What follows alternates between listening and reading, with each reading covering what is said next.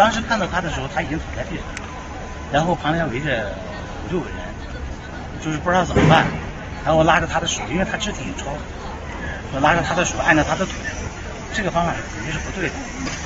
首先把病人要侧卧，让他侧着过来以后，防止呼吸道的堵塞。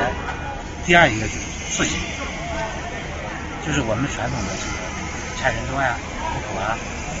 然后我又观察了四五分钟以后，大概十分钟的样子，我看他的在摸他的脉搏和那个就是看了，再一个呼吸、心跳、心瓣都是正常的，恢复正常了。